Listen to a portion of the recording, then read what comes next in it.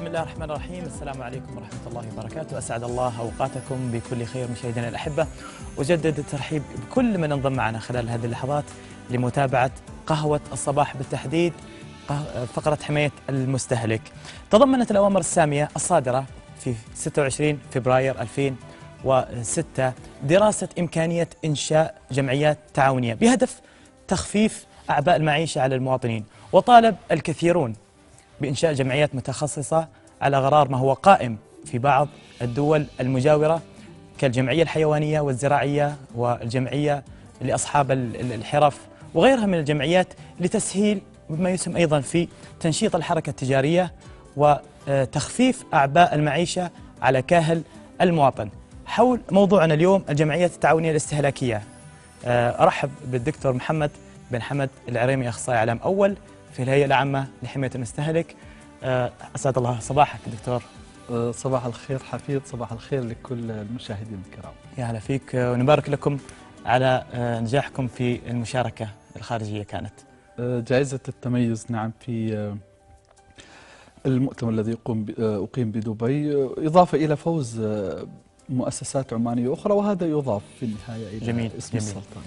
الجمعية التعاونية الاستهلاكية. دكتور البعض يسمع عن هذه الجمعية لكن ما يعرف شكل هذه الجمعية دور هذه الجمعية.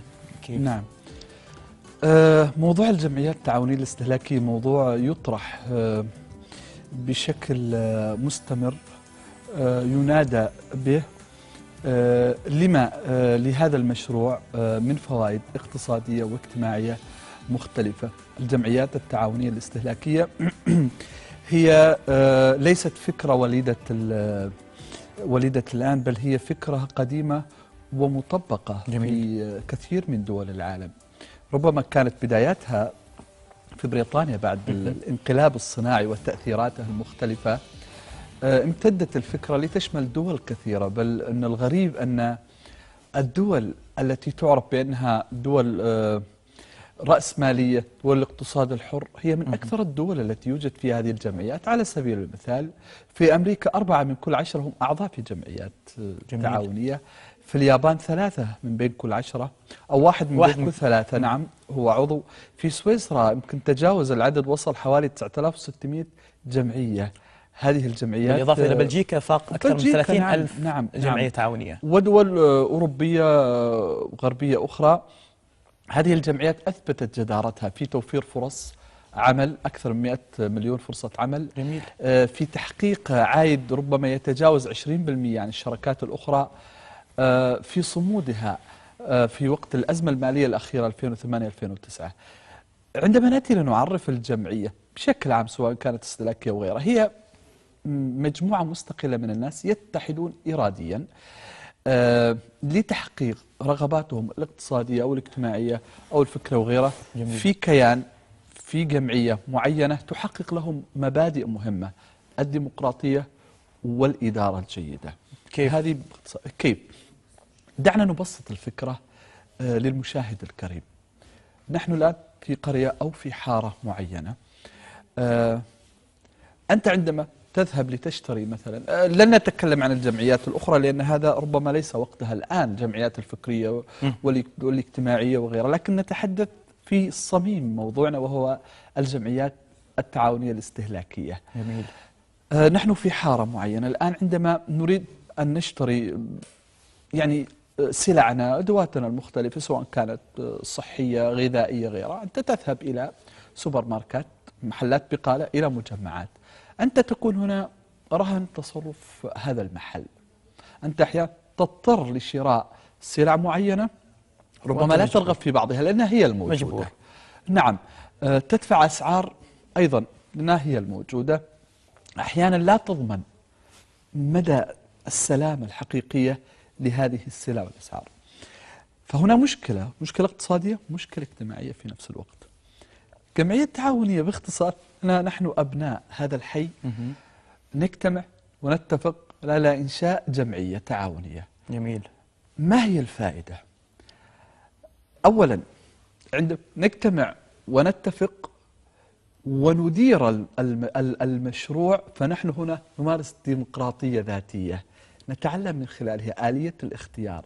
آلية الانتخاب آلية أن يكون لدي صوت وأن فيها جانب تجاري فيها جانب اجتماعي نعم.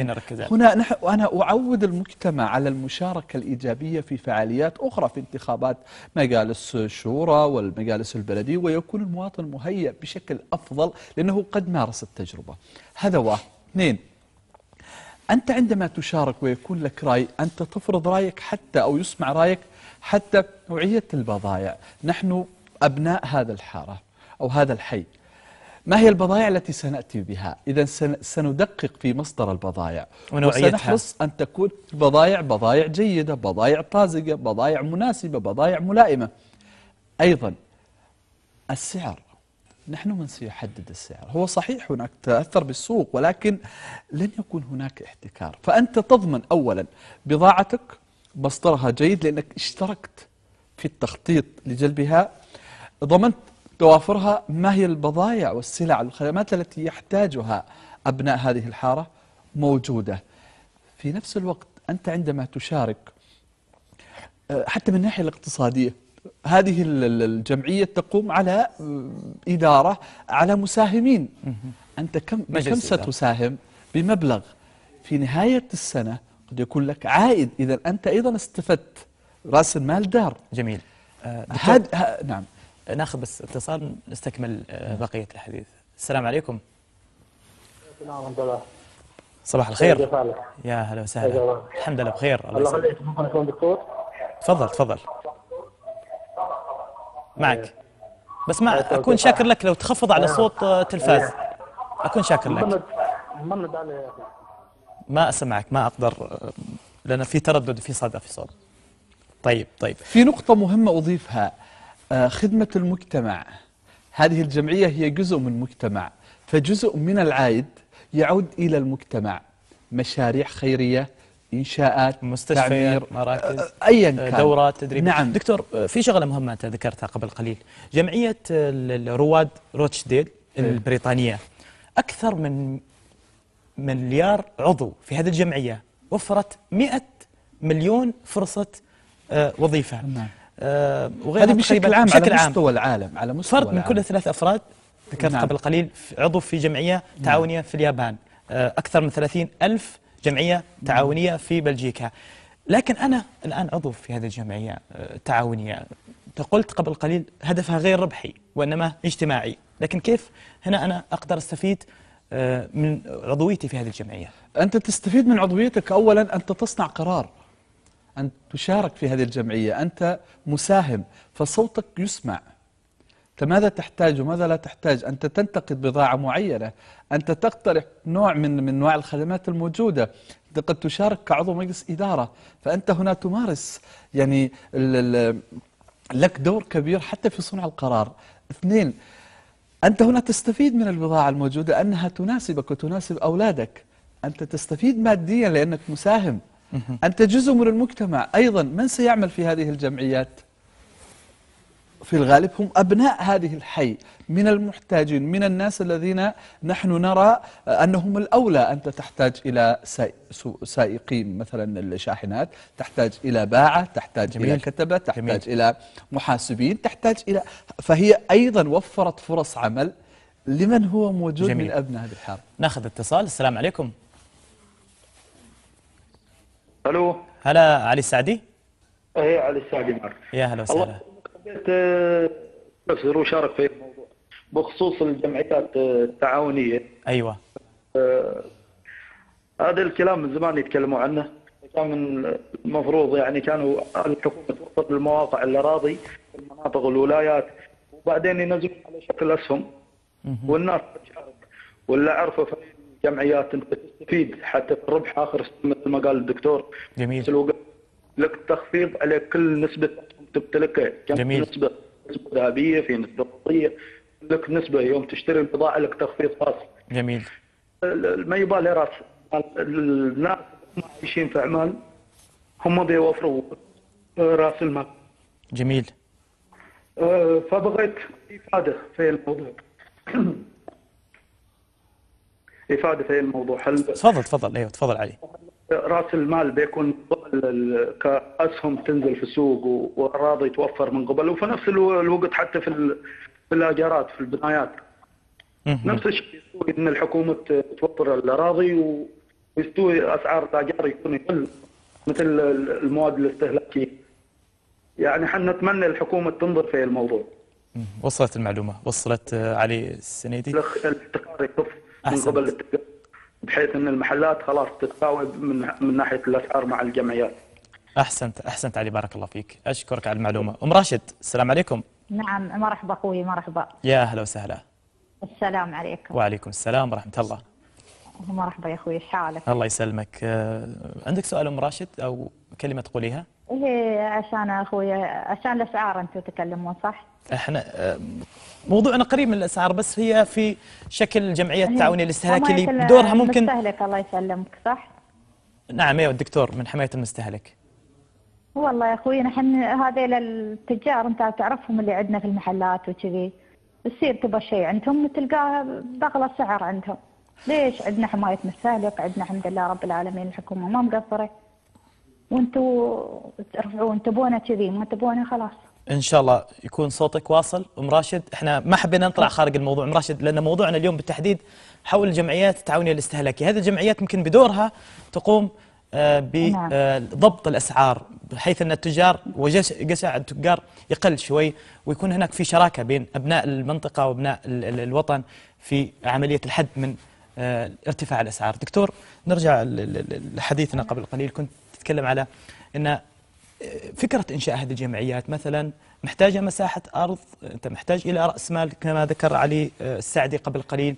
محتاج بعض الأمور اللي بحيث يمكنك يرخص فتح مثل هذه ال- ال- الجمعيات. أنا أشكر الأخ علي. هو ذكر نقاط مهمة وكنت أنا أريد أن أتطرق عليها في في الدور الحكومي. أولا مهم جدا تكون هذه الجمعيات آه، ينشئها ال- ال- المستهلكين أنفسهم وليست الحكومات كإنشاء. لأن حكومة يعني بيروقراطية يعني روتين يعني تدخل آه، لكن عندما ينشئها آه، ال- ال- المواطنين المستهلك هم هنا هم آه، يعني سيحاولون قدر الإمكان الاستفادة ال- ال- القصوى منها. وأيضا كما ذكرت لك ال- العمليات المهمة عمليات الإدارة الذاتية والديمقراطية الرأي وغيره. لكن لابد من دور حكومي مهم. هو ذكر نقاط مهمة.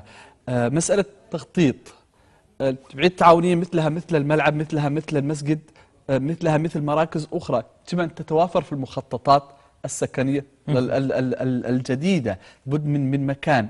فدور الحكومة هنا ربما يتمثل في في أدوار مهمة ثلاثة مهمة. توفير الأراضي لهذه الجمعيات لمن يحتاج من أو حارات بسعر أو قرى أو غيره. فأن أو. يوفر آه، يعني مسألة الأراضي هذا أمر مهم. الأراضي اليوم أصبحت يعني يعني الحصول عليها مسألة صعبة وفي ظل الغلاء الأراضي الحالي. اثنين قد تدعم في البداية بمبلغ معين دعم ال- ال- التأسيس. ثلاثة مسألة التوعية. دور الحكومة من خلال وسائل إعلامها المختلفة أن تهيئ الرأي العام. لا يمكن أن تنشئ آه، مثل هذه الجمعيات دون أن تقنع الرأي العام بأهميتها لأن من هم الأعضاء؟ الأعضاء هم المجتمع هم المستهلكين جميل، أنفسهم. إذا جميل. لم يقتنعوا بالفكرة آه. قد لا يعني يتفاعلوا معها بشكل زحمة جيد. اتصالات معنا. ناخذ وجه الاتصالات كلها ونرجع للحديث. حمد السلام عليكم. عليك السلام. كيف حالك لا اسمح لنا حمد آه، أخرناك معنا. كيفك؟ كيف- الحمد لله بخير بس كيف الله حالك؟ يسلمك. يا هلا وسهلا يا هلا وسهلا حمد كيف حالكم؟ بخير. طياب شو؟ تسمع صوتك. تفضل. نسأل الدكتور يعني. تفضل تفضل حمد تفضل. يا أخي اقتراحكم حلو جزاكم الله خير يعني إن أحسنتوا عن هذا الموضوع يعني. آه، موضوع الج- الجمعيات التعاونية يا أخي هذه شيء حلو يعني.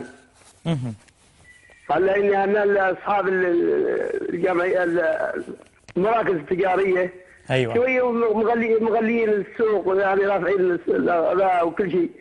يعني ويمكن إذا كان جمعية تعاونية بتكون فيها يعني شوية لها دور شوية و...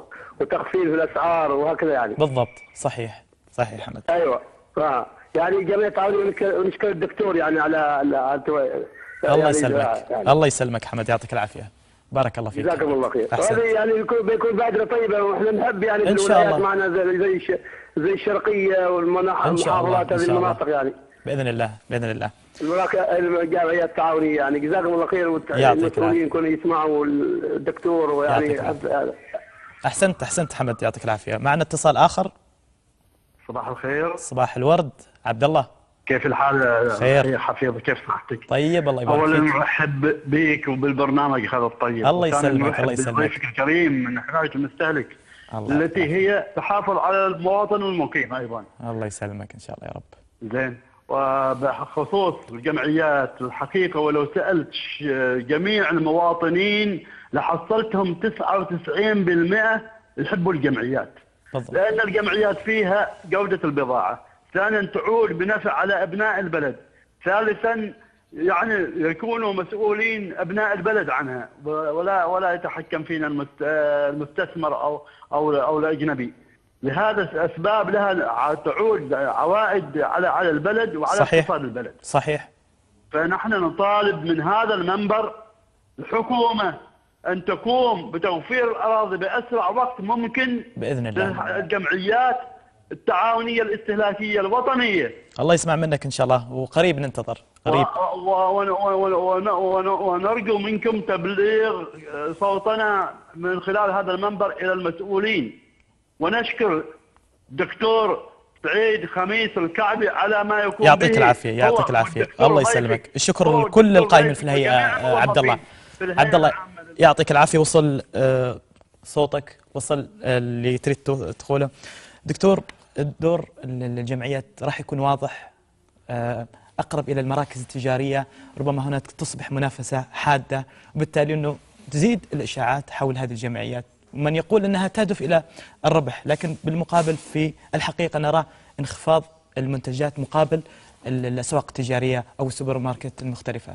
صحيح هي هي دور الجمعيات بالعكس تؤدي إلى إلى زيادة وعي الناس لأن هؤلاء الناس هم من سيشارك إدارة هذه الجمعيات، هذه الجمعيات ستحرص على جلب بضائع والسلع الجيدة وبالتالي هي أيضا ستجبر الطرف الآخر على أنه يقوم يحذو نفس الحذو بالضبط. حتى يبقى في المنافسة بأن يأتي ببضائع آه، يعني تنشد الجودة آه، هذه الجمعيات كذلك آه، ستسهم في كسر احتكار البعض في موازنة اتزان السوق لأن هنا المستهلك يكون لديه خيار سيكون لديه خيار جيد أن. يذهب إلى جمعيات تعاونية هو يضمن على الأقل آه، سلامة ما, ما, ما يوجد فيها من غذاء ومن مواد من أدوات لأن من أتى بها هم المواطنين هم المستهلكين لم يأتوا بها من أجل الربح وإنما من أجل الفائدة الشخصية لهم ولمجتمعهم بعكس بعض. لا أقول بهدف طبعا بعض الأطراف الكبرى. جميل. دكتور نعم. مئات مئات آه، الجمعيات في بعض الدول في أكثر ربما ألوف من الجمعيات آه، التعاونية. لكن ترجع وتنصب إلى نظام اللي هو آه، يعني ال- ال- المراكز الرئيسية لهذه الجمعيات آه، اتحادات عامه صحيح. الجمعيات التجارية. هي من تقوم بالتفاوض مع الشركات بحيث أنها تأخذ بالجملة كميات وتطرحها بالسوق بأسعار منافسة وأسعار. نعم يعني أنت في في دول أخرى تجد هناك مئات الجمعيات. هذه الجمعيات يجمعها اتحاد أكبر. هذا الاتحاد هو من يتحدث باسمها هو من ينظم عملية القوانين لأن هي الجمعيات لابد لها من قوانين. يعني أنت لا يمكن أن تأتي في الغد وتفتح جمعية. لا هي لها قوانين. يفترض أن تكون تحميها كذلك من المنافسة وغيرها. صحيح. بدون قوانين أنت لا تستطيع أن تنفذ شيء. آه، أيضا هذه الاتحادات أحيانا ماذا تفعل؟ تقوم بشراء السلع من المصدر. فتأتي بكميات كبيرة وتعيد توزيعها على الجمعيات الأخرى وعلى المحلات الأخرى بأسعار تنافسية بالتالي جميل. أنت ضمنت لأنك أنت عندما تشتري بالجملة كمية بضاعة كبرى شيء طبيعي أن يكون السوق آه، أو السعر سينزل صحيح. هنا الأمر المهم الجمعيات التعاونية مرة أخرى أؤكد عليها هي نتاج شراكة مجتمعية وليست وليس دور حكومي. يعني الآن حتى الأعضاء المجالس البلدية كذلك يجب أن يفكروا أن, أن, أن يطرحوا قضايا كهذه أمام الناس الذين يكون يمثلونهم في شراكة. أحسن نعم. دكتور. آه، إلى جانب اللي- اللي هدف اجتماعي هناك هدف أخرى آه، وغيرها من الأهداف. أعجبتني فكرة أيضا جمعيات تعاونيه في الكويت عندما قامت بإنشاء مستشفى لأمراض القلب وهي أيضا آه، يعني لفتة جميلة من هذه الجمعية التعاونية إنه يكون دورها اجتماعي بالدرجة الأولى. يعطيك العافية. أحسنت. بارك الله فيك. على شكرا وجودك اليوم وشكرا معنا. لكل المشاهدين الكرام وشكرا لكل المتداخلين الذين فعلا أضافوا آه، أشياء مهمة إلى هذا الموضوع. وهذا دليل على وعي ودليل على اهتمام وعلى متابعة للقضايا المحلية التي دولان كل الشكر لك. كان معنا الدكتور محمد بن حمد العريمي إخصائي إعلام أول في الهيئة العامة لحماية المستهلك. مشاهدينا الأكارم إن تفعيل دور القطاع التعاوني في السلطنه وأعطائه المكانة اللائقه أمر بالغ الأهمية يسهم في دفع عجلة التنمية وهو الأمل الحقيقي لمحدودي الدخل في مواجهة تحديات الغلاء العاتية. بإذن الله إلى هنا أكون أختم معكم برنامج قهوة الصباح على أمل اللقاء بكم في موضوعات وفي أيضا آه، فقرات ومحطات مختلفة. تنال رضاكم وإعجابكم وتستفيدوا وتفيدوا من خلال هذا البرنامج. وحياكم الله.